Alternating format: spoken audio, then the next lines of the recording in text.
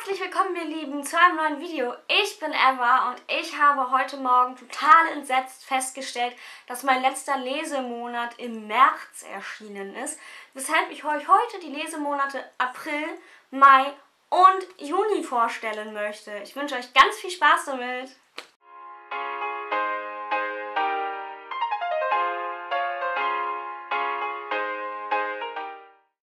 Ich habe heute drei Lesemonate für euch und das ist schon eine ganze Menge. Es ist tatsächlich eigentlich so, dass man annehmen könnte, ich hätte jetzt super viele Bücher, die ich euch vorstellen müsste. Leider ist dem nicht so, weil ich ja äh, seit Anfang des Jahres irgendwie so ein bisschen in einer Leseflaute stecke und deshalb nicht ganz so viel gelesen habe, wie ich eigentlich wollte. Insgesamt sind es neun Bücher bisher, aber fünf davon stelle ich euch heute vor. Und zwar hat mein Lesemonat April mit diesem schönen Buchschatz angefangen. Schimmert die Nacht von Maggie Stiefvater stand schon sehr, sehr lange auf meiner Wunschliste und ich muss gerade mal gucken, dass ich heller werde wieder. Dieses Buch stand sehr lange auf meiner Wunschliste und dann im Endeffekt gar nicht so lange auf meinem Sub unbedingt, denn nachdem ich das hatte, musste ich es lesen. Es ist ein kleiner Spin-off der Mercy Falls Trilogie von Sch Nach dem Sommer ruht das Licht in deinen Augen. Es geht dort um die Mercy Falls Wölfe. So, da hat sich leider mein Akku gerade einmal ganz kurz verabschiedet, aber kommen wir zurück zu Schimmert die Nacht. Es geht darin um die Mercy Falls Wölfe, bei denen es sich ja so ein bisschen um Gestaltwandler handelt und das ist der Grund, warum ich letztendlich zu diesem Spin-off-Buch gegriffen habe, weil ich auf jeden Fall mal wieder Lust auf ein bisschen Fantasy hatte und insbesondere auf Gestaltwander sowie Werwölfe. Und das ist hier ja nun der Fall. Außerdem hat mir Maggie Stiefvaters ähm, Schreibstil bisher immer sehr, sehr zugesagt und deswegen hat mir dann auch dieses Buch auf jeden Fall sehr gut gefallen.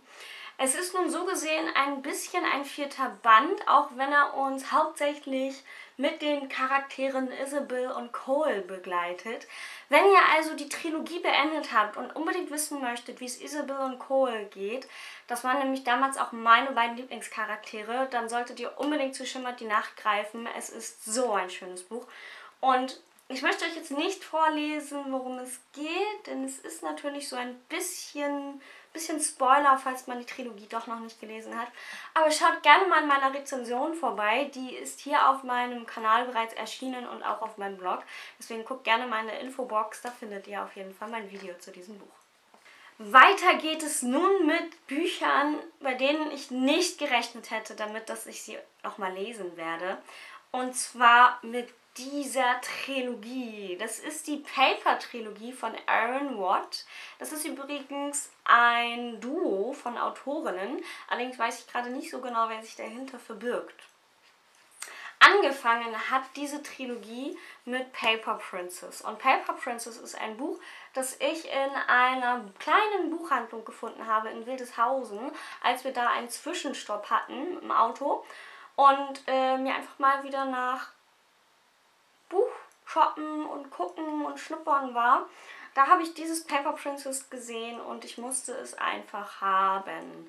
Da wollte ich ursprünglich schon den zweiten Band direkt mitnehmen, habe es aber gelassen, weil ich befürchtet hatte, dass Paper Princess erstmal auf meinem Sub verrotten wird, wie es so viele Bücher manchmal leider tun.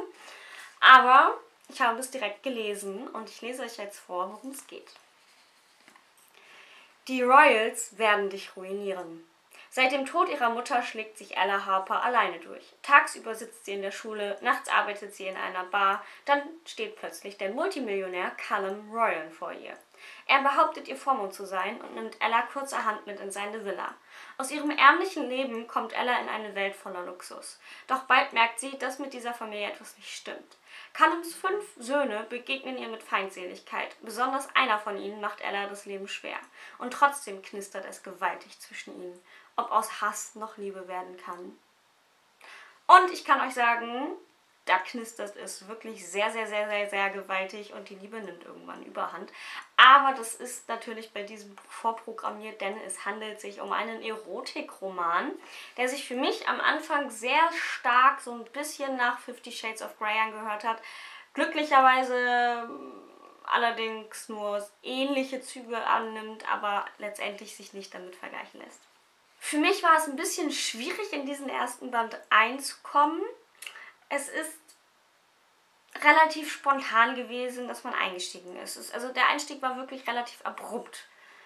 Ella ist als Ich-Person aufgetreten und wir haben erst gar nicht viel über sie erfahren. Wir sind mitten im Geschehen und das leider ein bisschen zu schnell, wie ich fand. Aber wenn man sich erstmal durch die ersten Seiten durchgekämpft hat, dann lief es wirklich gut.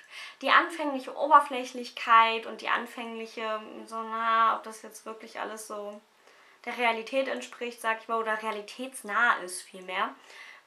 Da waren natürlich Zweifel da, aber das verfängt sich mit der Zeit. Wenn ihr euch also wirklich die Zeit nimmt, hier weiterzulesen und über diese Hürde hinaus zu lesen, dann ist das Buch wirklich unfassbar gut und mir konnte es eine sehr schöne Lesezeit geben. Genauso war es dann auch mit Band 2 Paper Prince und Band 3 Paper Palace der Fall. Ich habe diese beiden Bücher relativ zeitnah danach gekauft. Ich glaube, direkt am nächsten Tag musste ich in die Buchhandlung und ähm, habe diese beiden Bände gekauft und habe den zweiten Band tatsächlich auch an einem Tag durchgelesen und den dritten auch relativ flott, wenn man bedenkt, dass ich vorher eine Leseflaute hatte. Das waren übrigens mein sechstes, siebtes und achtes Buch in diesem Jahr. Und die sind beide jetzt so in anderthalb Monaten von mir weggelesen worden was ich wirklich gar nicht so schlecht fand. Also diese drei Bücher haben mir wirklich eine sehr schöne Lesezeit beschwert und ich bin sehr froh, dass sie mich durch das Jahr 2017 begleiten, begleitet haben. Ihr dürft gerne mal reinschauen in die Infobox, dort habe ich euch nämlich meine Rezensionen verlinkt. Auf meinem Blog hat jedes Band einzeln, jeder Band einzeln eine Rezension bekommen. Auf meinem Kanal habe ich ein Video über alle drei Bücher gemacht. Aber keine Sorge, wenn ihr den ersten Band natürlich noch nicht gelesen habt, ich habe über den ersten Band, das ist hier Paper Princess, habe ich erstmal einzeln gesprochen und habe dann natürlich auch eine Warnung ausgesprochen, dass ihr nicht weiterschauen dürft, wenn ihr noch nicht meine Meinung zu Band 2 und 3 hören wollt. Ihr könnt euch quasi also die Rezension zum ersten Band auch einzeln anschauen und dann erst die Meinung zu Band 2 und 3, wenn ihr es denn hören wollt. Schaut dafür einfach mal in der Infobox vorbei, da findet ihr die Links. Und nun kommen wir zu meinem letzten gelesenen Buch, was ich jetzt gerade heute Morgen beendet habe. Also eigentlich, wenn das Video ankommt, heute vor einer Woche. Deswegen ist am letzten Samstag wahrscheinlich auch schon meine Rezension dazu online gegangen. Und zwar ist die Rede von Acht Nacht, Sebastian Fitzek. Ich habe es im Juli beendet, aber ich zähle es noch zu meinen Juni gelesenen Büchern, weil ich es da natürlich begonnen habe und da zählt es für mich mit rein. Diese 400 Seiten von Sebastian Fitzek haben sich ebenfalls sehr, sehr gut weggelesen. Ich glaube, ich habe eine knappe Woche gebraucht, um das Buch zu beenden. Zehn Tage, wenn es hochkommt. Und äh, konnte es super flüssig eigentlich durchlesen. Habe zwischendurch bin ich nicht viel vorangekommen, weil ich einfach viel um die Ohren hatte. Aber habe jetzt heute Morgen nochmal einen Run hingelegt. Gestern Abend bin ich noch zum Lesen gekommen. Und am Anfang, der Anfang hat sich auch relativ schnell flüssig durchgelesen. Es ist begleitet vom typischen Sebastian Fitzek-Stil. Aber ich lese euch jetzt erstmal vor, worum es geht. Dieser Thriller ist nämlich von dem Film The Purge beeinflusst worden oder inspiriert worden, sage ich mal. Und deswegen seid mal gespannt. Stellen Sie sich vor, es gäbe eine Todeslotterie. Sie könnten den Namen eines verhassten Menschen in einen Lostopf werfen. In der Achtnacht, am 8.8. jeden Jahres, würde aus allen Vorschlägen ein Name gezogen. Der Auserwählte wäre eine Achtnacht lang vogelfrei, geächtet. Jeder in Deutschland dürfte ihn straffrei töten und würde mit einem Kopfgeld von 10 Millionen Euro belohnt. Das ist kein Gedankenspiel, sondern bitterer Ernst. Es ist ein massenpsychologisches Experiment, das aus dem Ruder lief. Und ihr Name wurde gezogen. Es ist ein Experiment, das aus dem Ruder lief, das dann im Endeffekt dein Leben bedrohen kann. Es ist ein super interessantes Buch, was die menschliche Psyche angeht. Und was mich einfach so fasziniert, ist, dass das wirklich zur heutigen Zeit, im heutigen Deutschland, in Berlin spielen soll. Und das ist der Hammer. Also das ist einfach so, dass das bringt uns die ganze Situation viel, viel näher, als es jetzt zum Beispiel der Film The Purge was ja in den USA spielt und was auch noch in der Zukunft spielt, als was es das könnte. Und Sebastian Fitzek hat das Ganze einfach mal auf die heutige Zeit übertragen. und hat uns quasi auferzählt, was das für Folgen haben kann für unsere Gesellschaft und vielleicht sogar für unser eigenes Leben. Und wie gesagt, schaut da gerne meine Infobox vorbei. Auch dazu ist die Rezension bereits online gegangen. Zumindest habe ich sie vorhin schon aufgenommen. Und tippen muss ich sie jetzt noch. Ich weiß allerdings nicht. Vielleicht ist sie schon online gegangen auf meinem Blog. Dann seht ihr das auch in der Infobox. Und mehr will ich auch gar nicht dazu sagen. Nur, dass ich mittlerweile eine sehr begeisterte Sebastian Fitzek-Leserin bin.